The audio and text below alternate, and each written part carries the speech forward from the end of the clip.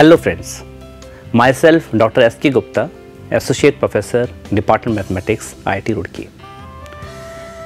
While solving various engineering and science problems, we frequently encounter various non-linear optimization problems.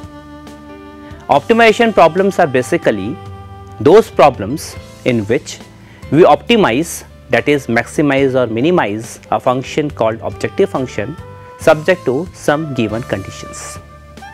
If it is non-linear in nature, we call it non-linear programming problems or non-linear optimization problems. This course, non-linear programming, basically deals with the study of various methods to solve non-linear optimization problems. It's a 10 hour course.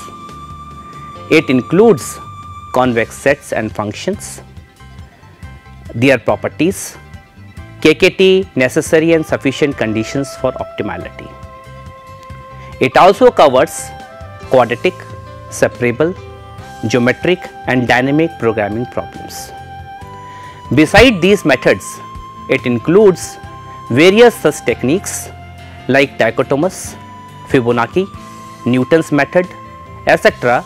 to solve non-linear optimization problems. I feel that this course will be highly beneficial for the students who are interested in learning various optimization tools to solve non-linear programming problems. Thank you.